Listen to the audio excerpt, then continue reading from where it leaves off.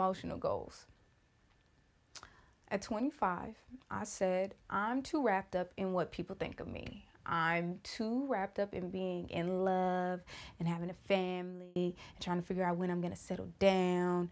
And I really need to just stop rushing into relationships and um, stop trusting people who are undeserving of that and um, stop trying to think that I can fix people because really the only person that I have a chance at changing is myself.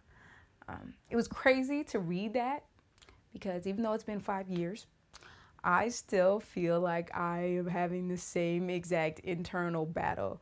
I mean, honestly, my emotional goal for the week um, was tough. Um, it was letting go of my pride and my fear of rejection and actually posting the video that you guys saw last week. Um, it's crazy because even with the rush of anxiety and the video being late, um, I still hesitated when it came time to make it public.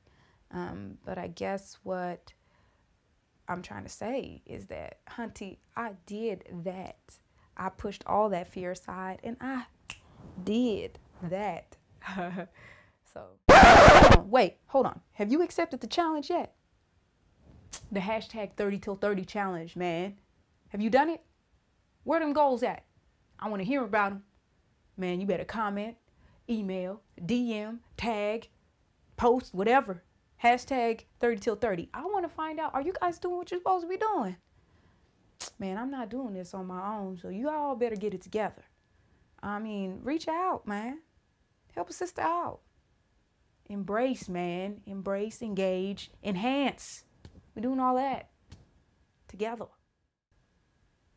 I hope. Hey, Lauren, this is your ego here. Who who are you talking to? You know you're doing this by yourself, right? I'm gonna get rid of you one Ain't day. nobody gonna I swear subscribe. to God. Okay, you know. I'm, uh, hey, where where you going? Hey, don't don't do that. Don't don't don't turn it off.